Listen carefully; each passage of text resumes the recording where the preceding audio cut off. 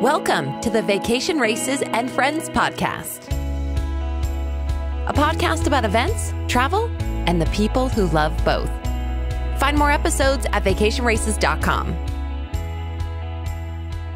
Welcome back to another episode of Vacation Races and Friends podcast. Yep, we've got another race guide for you, and it's our final race guide of the season. We're talking Joshua Tree Half Marathon. This is a unique experience, guys. It's our only nighttime, really full half marathon experience. We have our Zion at night, but this is, one is just a little bit different and you want to dig into all the details. The logistics pretty easy. Basically, we are going to party in the desert the first weekend of November. I have Anna here with me. She is the race director this year of Joshua Tree. Hi. Anna's super excited and this is going to be great. So, Anna, tell me a little bit just about Joshua Tree as a park. So Joshua Tree is kind of that desert escape park. Um, obviously, you will see a plethora of Joshua trees. There's these kind of grumbly rock formations. Grumbly. Grumbly is a good word. Crumbly is the word I meant to say, though. Well, they're they're very different. Like the rock formations are very bouldery. They're Yeah. very. It's a climber's paradise. Yeah. Joshua Tree is. Do you know what I always think about when I go out there? The movie Tremors. Yes, because it's so deserty like Yes. that. And But- just these outcroppings of boulders just out of the blue. Yeah, it's kind of weird. The Joshua Trees. Um, it's known for its night sky. Yes. Joshua Beautiful stars. beautiful. Stars. That's stars. actually well, one of the reasons why we do this is because of the night sky. We either our very first year we tacked it on to the full moon, and it was a great running experience with the full moon out. All the other years we've had a partial moon or no moon, so you have one or the other, either a great full moon or the stars. This year it's going to be the stars. Yeah, which is going to be great because, uh, again, if you search for things about Joshua Tree, you are going to see a lot of night sky photography. Mhm. They have a lot of star parties out in the park and things like that. And Joshua Tree, a pretty young national park as far as it goes. It was a state park originally, and I believe it was the late 1980s that it turned over into the national park Yep. system. And so it is very unique. And even we went to Saguaro this year, Anna, and Saguaro is a deserty, prickly park, but this is totally different than Yeah, that. totally unique, different type of desert, and from even from where we're from in southern Utah, completely different desert. Yeah, completely different. And actually, in Joshua Tree, there's a place in Joshua Tree where all of the deserts come together, which Yep. is a really cool, unique feature of that Joshua Tree area where you've got this overlap of these different kinds of deserts coming together. So, Joshua Tree has a lot to offer, and this race is definitely become a fast fan favorite. yeah.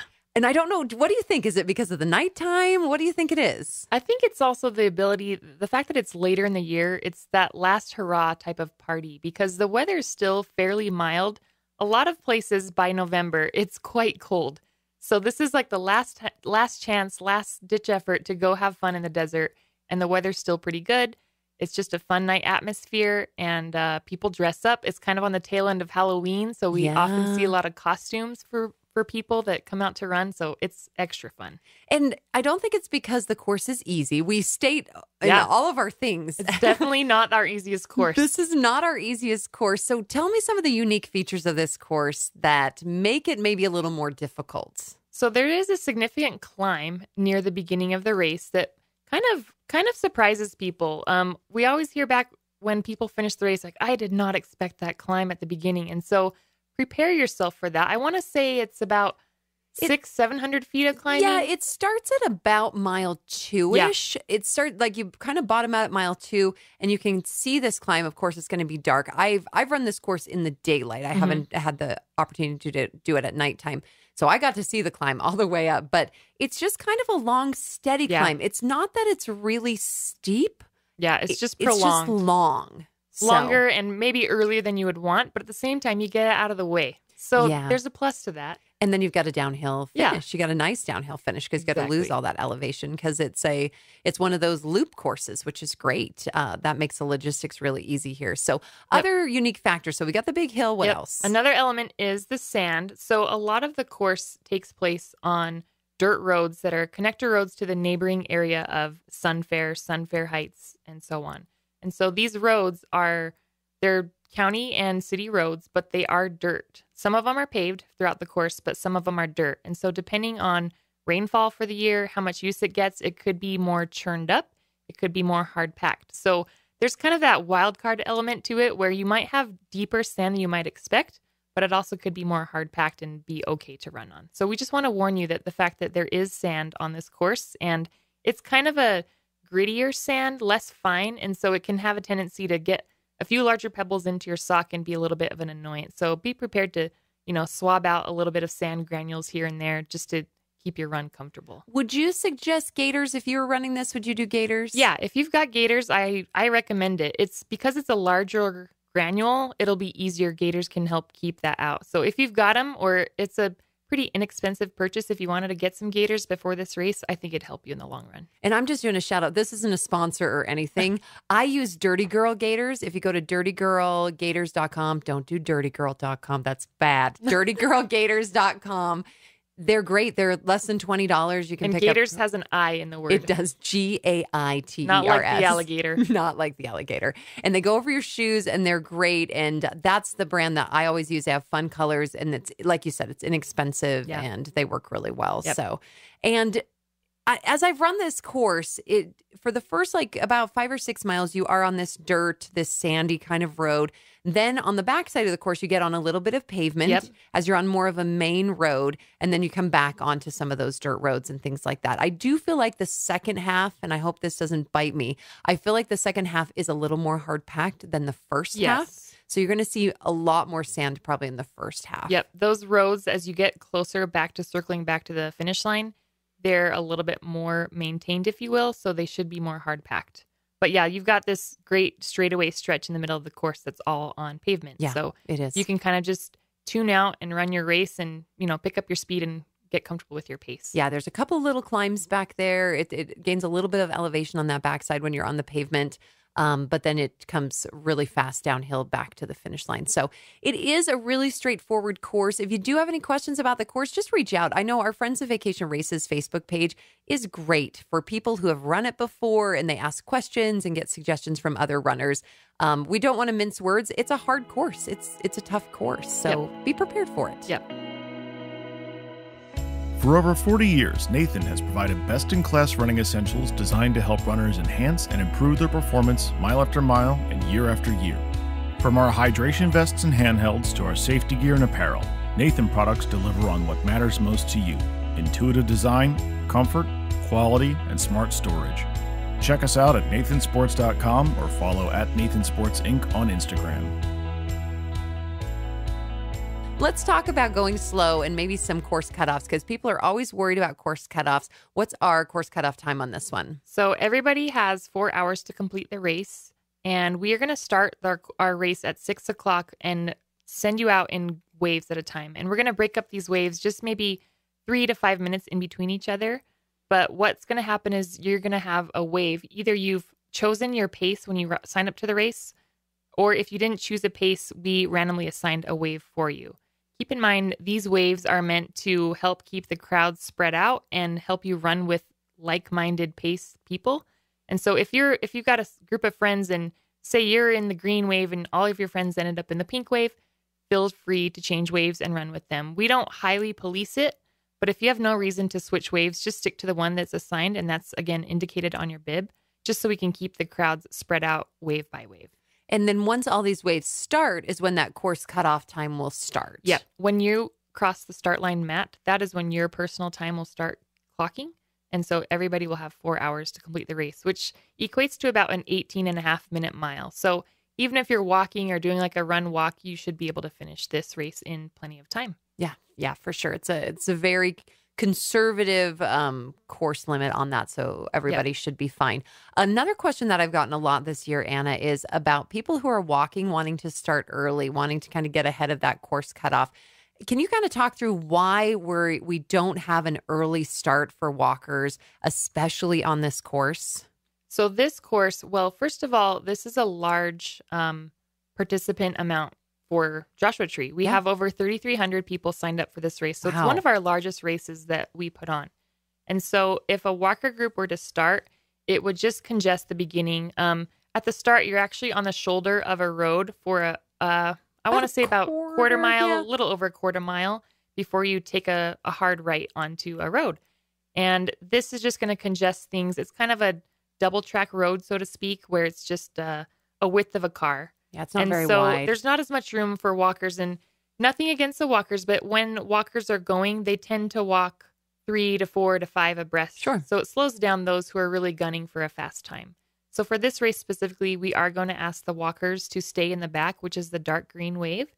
And you'll still have plenty of time to finish. You just won't get that head start like we might allow in a few of our other events. Yeah, that, that- I think that's perfect because it does cause a lot of congestion on that first turn Yep. where we're we're kind of and, and the good thing about the first term is turn is we are climbing so everybody's kind of slowed down a little bit but you know one of my favorite things anna about this race is as we're sitting and we've let everybody go from the start line and we see these headlamps that are Yes. just running up this hill That's one of my favorite see it. views. It is. It's really, really cool. It it makes it so unique. And I hope you guys, when you're out there running, you take the time to stop and maybe look back at all those headlamps Mm-hmm. and look at the sky because that's why we do it at night Yep. is for that experience. So Yeah, the very first year I was there uh, watching it, I I actually got a little shocked because I had not previously run the course and I says, "Oh wow, seeing the outline of all the headlights, you know, skirting the silhouette of the mountain, that's a little bit steeper hill than I thought it was." so there you go. Prepare for the hill that's early on. It's going to be there a little bit early on.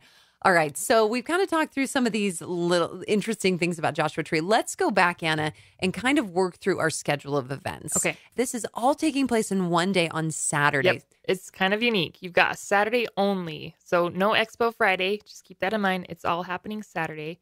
We will still have an expo, and that's going to run from 10 a.m. to 5 p.m. Okay. So on Saturday, 10 to 5, that's bib pickup, that's expo.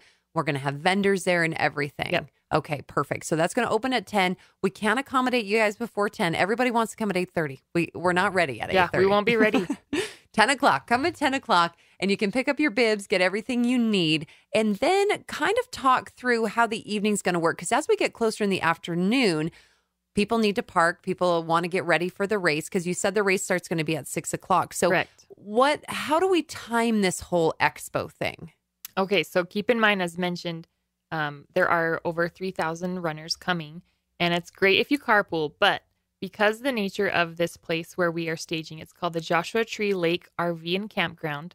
Um, there's kind of a one way road to get there. There's actually multiple ways, but most people are going to come from town or Joshua Tree or Yucca Valley, 29 Palms direction, and you're going to head north up Sunfair Road. And so it's kind of a, a dead end, so to speak, where you're coming to. And so w- there will be some traffic jams. That's kind of inevitable. Yeah. But we've got a lot of staff out there on um, on the property to try to get you in multiple entrances to get everybody parked as seamless as possible. So what we're doing is asking everybody to be parked by 4:30. So be Okay. parked in the property no later than 4:30, just so that we can make sure the dust is settled, everybody's parked, because there's still, you know, any last minute bib pickup that has to happen by five o'clock.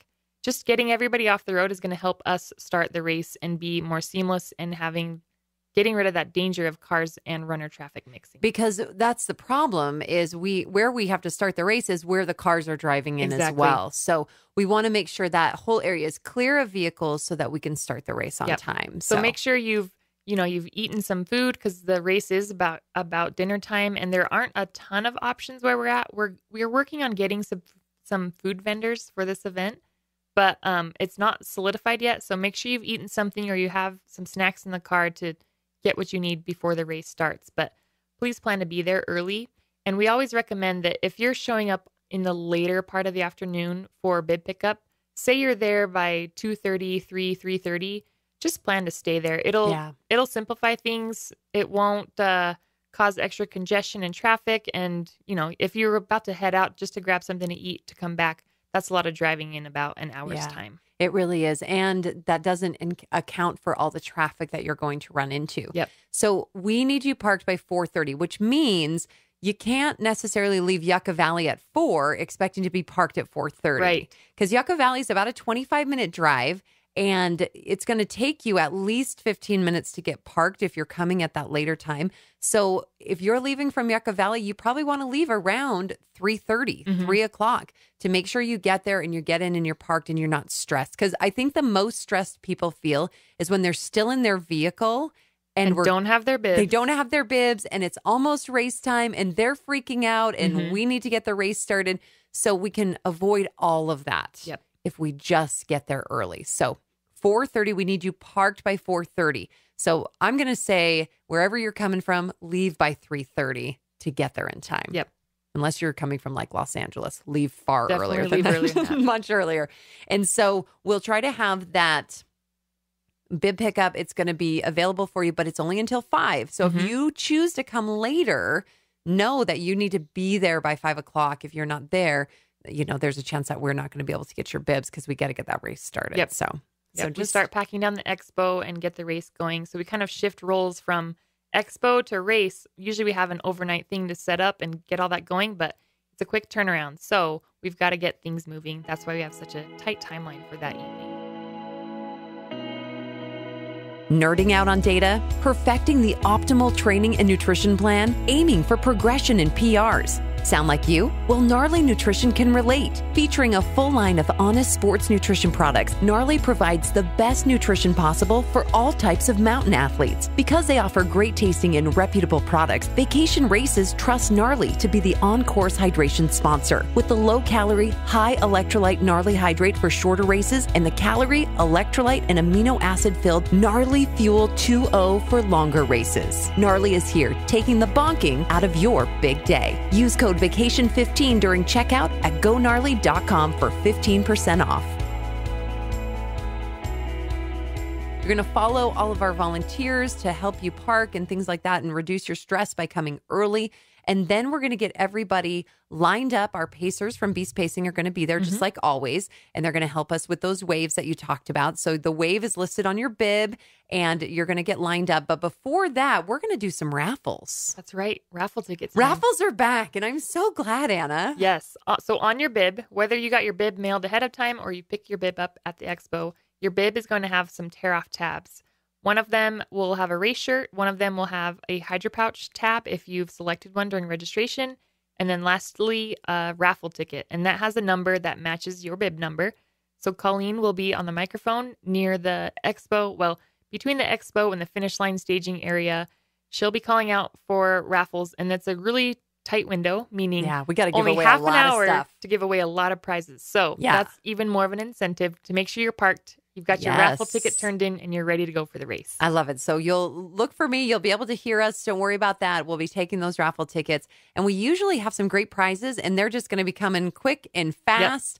That night, we also give away a free race entry. I always do that as well. And maybe just to incentivize, incentivize Anna, I'm going to give the first raffle away as a free race entry. That's a good plan. I'm I'm game with that. I like that. So we're going to give away a free race entry right when raffles start at five o'clock, which means I need your raffle ticket like four forty-five, and then we'll do our raffles, and then we'll get us on to this course and get us all started. So yeah, I think that's a good incentive right there. We're we're dropping you guys a good incentive to be early.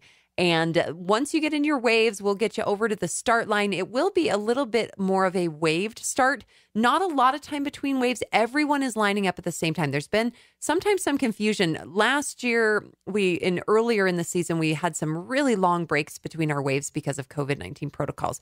At this point with this race, there's going to be a few minute break in between each wave just to help control traffic. Mm-hmm. But that doesn't mean, oh, I'm in the dark green wave. I don't need to be there until Yeah. later. Everybody come all at once. You're just there's a couple minute breaks, but you're all kind of standing in this continuous chute that kind of snakes Yeah. around the start line, which starts actually just outside of the walls of the property we are staging at, but it's all within walking distance. So you're going to walk maybe a quarter mile from your car to where we're staging and then like another quarter mile to the start line. Yeah. But everybody's kind of be going to be stacked together starting with the blue wave, which are our front runners and those heading for overall gun time records and uh, masters records and then going from there with all the rest of the wave colors. Yeah. So it will be if you're competing for age group awards, you're on chip time. So it doesn't matter what wave you start in, it doesn't matter when you start. It's just those overall and masters awards that are given off of gun time. So they need to be in the blue wave.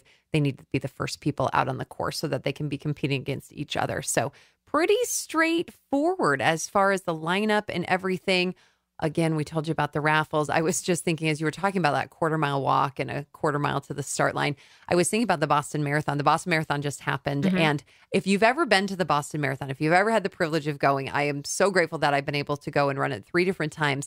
There is over a mile walk between your staging area and where you get to the start line staging area. Oh man. It is the longest walk. I mean, you end up doing like 27, 28 miles when you do the Boston Marathon just because it is so far in between things. It's not going to be like that. We're No. pretty close. It's all within eye shot. Yeah. We're going to be pretty close. But yeah, if you do some of these bigger, really big marathons, sometimes it can be really, really long. All right. So once we get everybody out there on course, we are going to have our photographers will be out on course Yep. taking some really unique nighttime photos.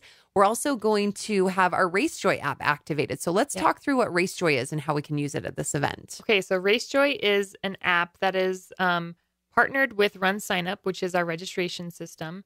They have an app that helps you um, track your run, times you, and there's actually some fun features involved with it. Yeah, there are. And I kind of fill in those fun features with fun facts that you can hear and listen to while you're on your run. So if you're wearing headphones or if you're playing your speaker while your run while your RaceJoy is working, when you get to different points, it's going to have a little message, a 30 second message that tells you about Joshua Tree, tells you how it became a national park, maybe tells you about some of the local flora and fauna. It tells you um, just some details about the area. So it's a little kind of audio race tour Yeah, that you get a- to do. It's a running tour as It you're is. running. It's kind of great. So we love RaceJoy. We've really been working hard on it this year. So plan to use that. And it's a great way for your spectators, if your spectators are coming, to know where you're at. This is really not a spectator friendly course. No, spectators are, wel- are welcome to come to the start and finish, which is all that same staging area, but we are going to ask no spectators go on course at all. Yeah, because it's just too hard. The the roads are really narrow Mhm. and it would be very dusty. Yeah.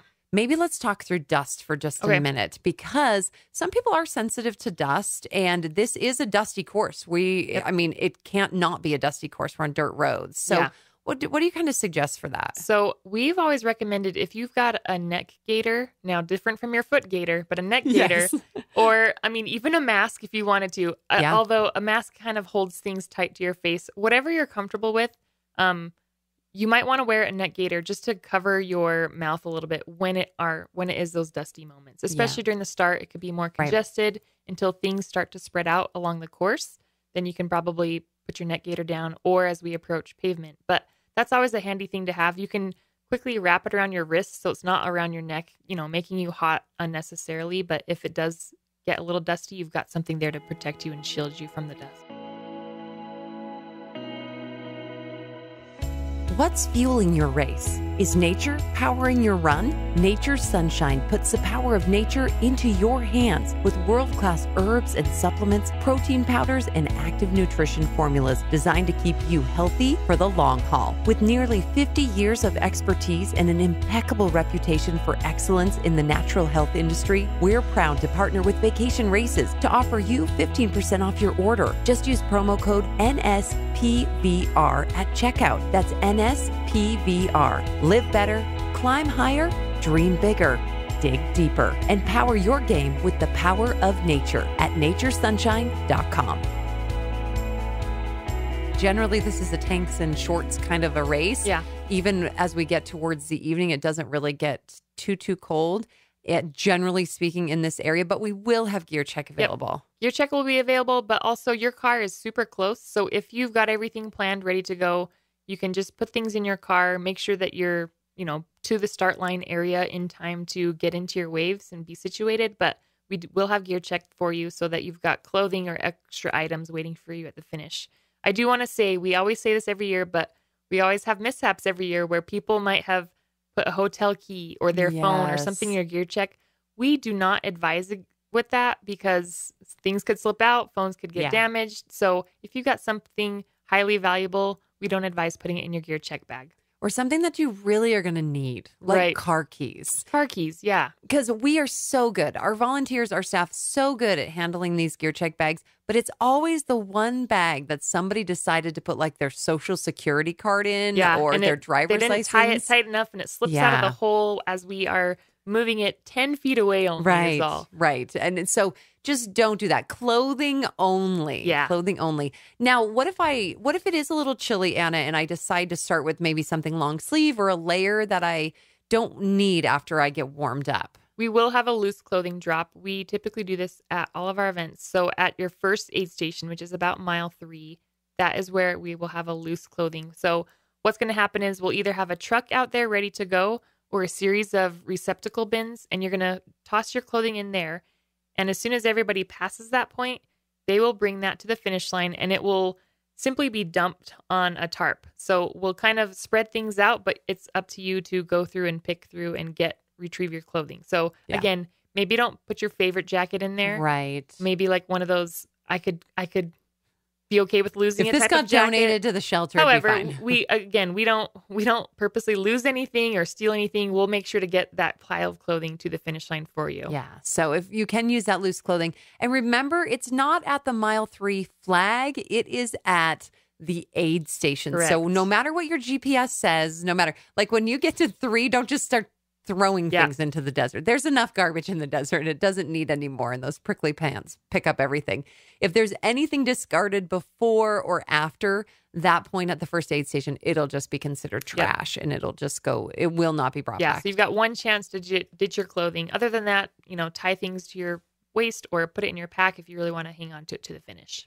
And speaking of aid stations, you talked about the first aid station coming around mile three. We've got six total aid Mhm. stations out there, all of them cup free. Yes, they will be cup free. So when you come to the expo, when you registered for the race, you indicated if you wanted a hydro pouch. And this is a little cup that we give you. It's kind of a flat shaped cup that it's used to get the fluids at the aid stations.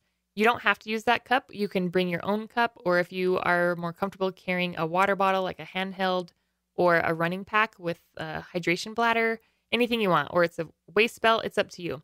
But keep in mind, there will be no cups on course. We will have aid stations at miles three, five, seven, nine, 11, and 12. And those are rough estimates. It's plus or minus a, Yeah, you know, a a, decimal bit. of a mile there. Yeah. But each of those aid stations are going to have water and Gnarly Hydrate, which is Gnarly is our sponsor. They're an excellent product. I Yeah. love their electrolyte drink. It's great. We're going to have probably ruby red grapefruit or orange pineapple as far as Okay. the flavors out on course.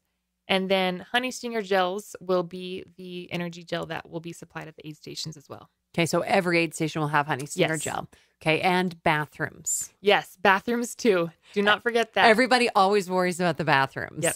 Yeah, bathrooms at every single aid station. So you're going to be really well cared for out Yep. there. You're going to be taken care of. Don't worry about that. Free race photos coming your way. You can use the RaceJoy app to have a fun little racing, uh, running tour guide with you. And also, when you're in Joshua Tree, we want you to go and explore. We want you to go and see this place. We, we bring you to these places in order for you to go and see what is unique about this place and experience a national park. So we have a great new app that we've been using this year called the Spark Challenges app and you can become a Joshua Tree Explorer Club member. That's right. So we've launched this actually last year, and at every event, we give on the app. Um, there's a little icon for every single location that we have races at, and you can do this anytime when you visit a national park. But we've got a whole list of activities, um, educational, stewardship, and service opportunities, and even recommendations such as places to eat or snacks to get Yeah. in the nearby area. So it's not just the park alone, but the surrounding areas, whether it's a, a town or another cool state park nearby. Depends on each location. But we've got a whole list of things and activities to do. Each of them have point values tied to the activity. And then what you do is go on the app and check off certain things you've done. And if you reach a certain threshold of points that you've earned, you will earn yourself an Explorer badge. Cool. And it's like this little wooden badge. Free of charge. We'll just send it out to you once you reach that and earn your goal.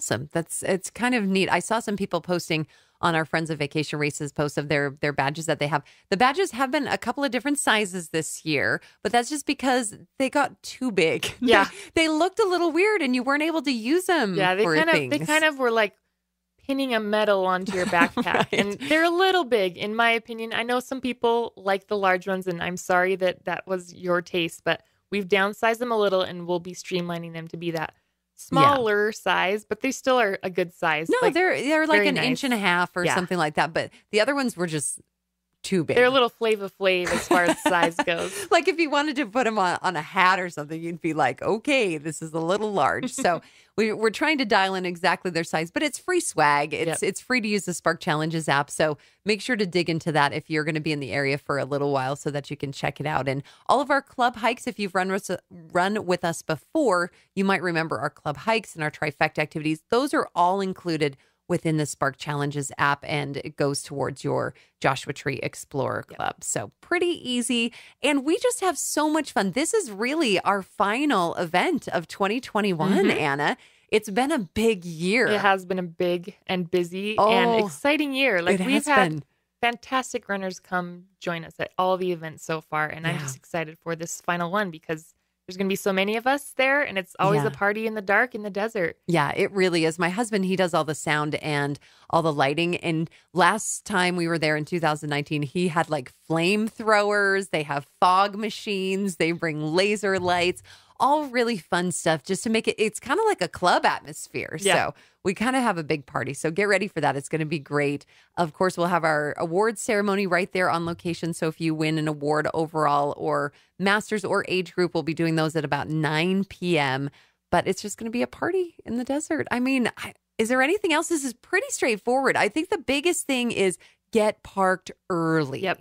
There is one major thing that I failed to mention, but it's actually really important. I cannot stress enough: headlamps or a flashlight Oh, of some how did sort we forget that, is Anna? required. I know we should have we should have actually started with this. I think we should have. My gosh, this is So, a nighttime this run. is a night race. Hence, hence, uh, even though it doesn't have like Zion at night, we say at night. This is technically Joshua Tree at night. It is. so yeah. the race starts at 6 p.m. That means the sun will have set or just starting to set. Yep. So everybody, everybody, everybody will be running in the dark.